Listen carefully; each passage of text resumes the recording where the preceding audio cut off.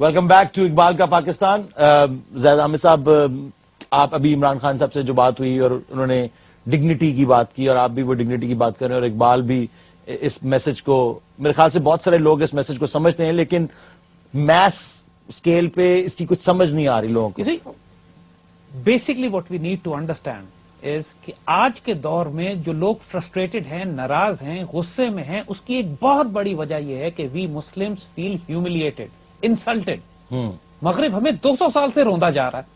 उसमें कोई मोरालिटी नहीं है कोई अखलाकियात नहीं है कोई शराफत नहीं है। डेमोक्रेसी जमहूरियत और आज़ादी के नाम पे करोड़ों कत्ल करता है वो। हमारी दौलत लूट के खा गए तबाह बर्बाद कर दिया कौमों को। सूद और रिबा और बैंकिंग सिस्टम के निज़ाम पे आईएमएफ वर्ल्ड बैंक की रजीम्स के तहत नस्लें इंसानों की कौमों की तबाह कर दी। And still they have the audacity and the face to walk up to us and say कि जी हमारा जमहूरी निज़ाम हमारी डेमोक्रेसी हमारा कैपिटल सिस्टम तुम अपने ऊपर मुसलत कर लो। और हमें जो शराय हम देंगे उन शराय पे तुम रोटी खाओगे। हम्म। तो जो गैरतमंद इंसान है ना he feels humiliated insulted no I will not accept you and then he looks around उसको अगर कोई एग्जिट नहीं मिलता है कोई आइडियोलॉजी नहीं मिलती है कोई विजन नहीं मिलता है कोई सोच नहीं मिलती है तो वो खुद को हमले करने पे आ जाता है bomb which is also half baked which is और वो उसके बाद वो दहशतगर्दी पे आ जाता है। देखिए before you win in the battleground you have to win the argument first first आप पहले दलील से जीतते हो पैगाम और आइडियोलॉजी आपकी ज़्यादा ताकतवर होनी चाहिए उसके बाद आप मैदान जंग में जीतते हो।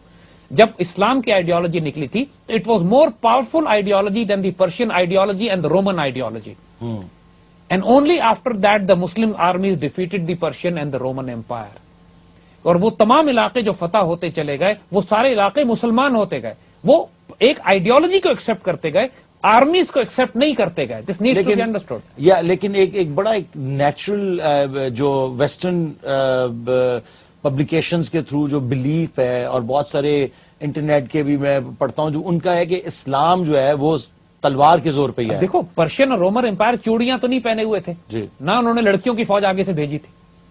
वहाँ भी पर्शियन और एम्पायर सुपर पावर्स थी अपने वक्त की आज के दौर में रशियन और अमेरिकन एम्पायर समझ लीजिए आप। जी। तो जब मुसलमान जाके उनसे मुकाबला करने के लिए गए थे और जो मिलिट्री रेशियो था हमारा वन टेंथ यानी दस अगर हज़ार मुसलमान है तो एक लाख दो लाख पर्शियन है और दो लाख रोमन है। तो क्या वो लोग क्या कर रहे थे? मतलब what on their weapon system the technology the modern warfare techniques everything was hundred time superior than the Muslim armies तो फिर अगर तलवार के ज़ोर पे मुसलमानों ने उनकी आर्मीज को पीछे हटाया है तो फिर ये तो उनकी जिल्लत और हमारी इज़्ज़त है। ठीक। मगर ये अगेन ये बात वी ऑल्सो रियलाइज़ कि ये तलवार मुसलमानों की उनको पीछे नहीं हटा रही थी। It was the power of spirituality and ideology which was pushing them back जब खालिद बिन वलीद रज़ी अल्लाह बैटल प्लान बनाते हैं कि मैं साठ आदमियों के साथ साठ हज़ार रोमन्स पे हमला करूँगा तो ये तलवार की बेस पे तो नहीं हो रहा। है स्ट्रेटजी और और ईमान है। और ईमान और स्पिरिचुअलिटी की बेस पे हो रहा है। इनफैक्ट स्ट्रेटजी भी फेल हो गई यहाँ पे। जैसा कि अपना सलाउद्दीन अयूबी ने जब हमला करके इसको आज़ाद करवाया। जब इंटायर नेटो यानी उस वक्त का सारा नेटो द पूरी क्रूसेडिंग आर्मी जो आज नेटो बनी हुई है they came and they attack the Muslim land in Palestine और एक मुसलमान सुल्तान उनकी राह पे खड़ा हुआ था। तो वो अगर तलवार की ज़ोर पे मुसलमान जीते हैं तो ये तो उनकी जिल्लत है और हमें जीतना भी यानी फिर तो इससे लेकिन उन्होंने फिर जो है उनको एक इंसाफ दिया और कहा कि जो क्रिश्चियन जूज जो भी वहाँ पे रहता है वहाँ पे रहे हम उसको कुछ नहीं याद लगाएँगे। Fought a clean fight always और, और वो हमेशा इस वजह से होता था कि देखिए जब उन्होंने बैतुल मकदस फतह किया तो मुसलमानों का खून घोड़ों के घुटनों तक आ गया। एक एक बच्चा जिबा कर दिया। जब सलाहुद्दीन अयूबी ने फतह किया नब्बे साल के बाद एक एक नाइट को माफ़ कर दिया। बिल्कुल। तो क्वालिटी ऑफ़ कैरेक्टर तो यही नज़र आ गया जी। जब हजूर सल्लल्लाहु ने फतेह मक्का किया तो दुश्मन तक को माफ़ कर दिया जो तेईस साल से जुल्म करते चले आए थे। जब सईदना उमर रज़ी अल्लाह ने बैतुल मकदस फतह किया तो एक एक शख्स को माफ़ कर दिया। हम जब भी फतह हासिल करते हैं तो जो किरदार दिखाते हैं it is not on the basis of sword it is on the basis of ideology morality we always stay on higher moral ground तो इकबाल का कमाल यही है कि ये आपको वेस्टर्न सिविलाइजेशन से चाहे वो ईस्टर्न सिविलाइजेशन हो यानी कम्युनिज्म और सोशलिज्म और मार्क्सिज्म की बात करें या कैपिटलिज्म की और वेस्टर्न सिविलाइजेशन और डेमोक्रेसी की बात करें इनके मुकाबले पर Iqbal allows you to win the argument आपको दलील से साबित करते हैं कि ये गलत है। दलील से साबित करते हैं कि मशरकी तहजीब और ओरिएंट जो है उसके पास वो वैल्यूज़ और इखलाक और किरदार है कि दुनिया की रहनुमाई करने के लिए ओरिएंट ही इस काबिल है कि आइंदा सिविलाइजेशन दुनिया को लीड करे।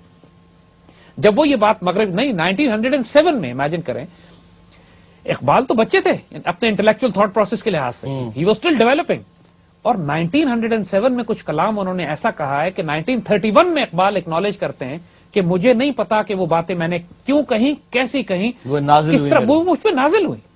वो एक्चुअली जिसको एन मैरी शमिल ने कहा है ना कि प्रोफेटिक एक्सपीरियंस यानी एक ऐसा एक्सपीरियंस कि जो लगता ये है कि शायद ये तो नाजिल होने वाली बातें तो किसी अल्लाह के वली पे या नबी पे ही हो सकती हैं। बिल्कुल। और इकबाल यकीनन अपने दौर में उस नौजवानी में भी विलायत के पूरे आसार ज़ाहिर कर रहे थे।